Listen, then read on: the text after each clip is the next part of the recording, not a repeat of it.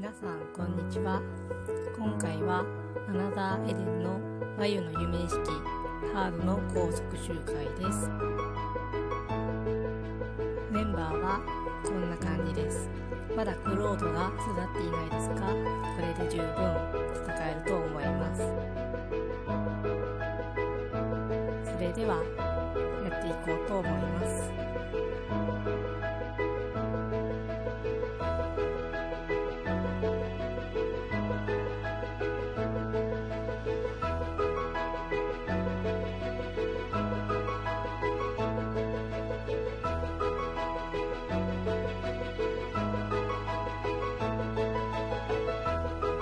全員が全体攻撃を持っているように編成してあるのでだいたい一撃で倒すことができます。ただ乱数によっては倒せない場合があるのでその時は2ターンかかります。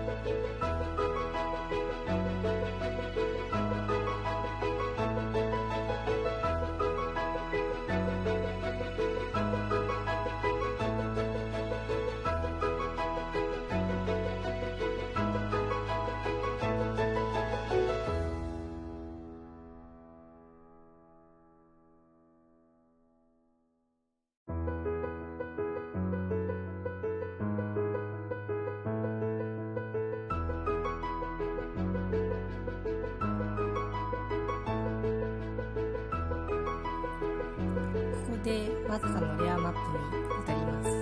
撮影中よくレアマップを引くので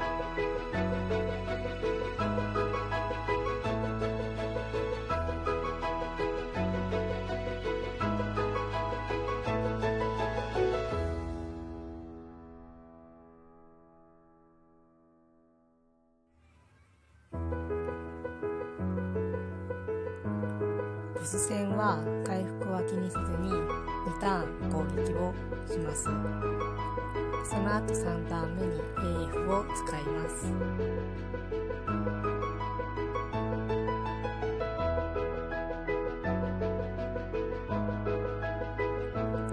個人的に必殺技なんですが一番右端を連撃右から2つ目を全体攻撃にしてあります。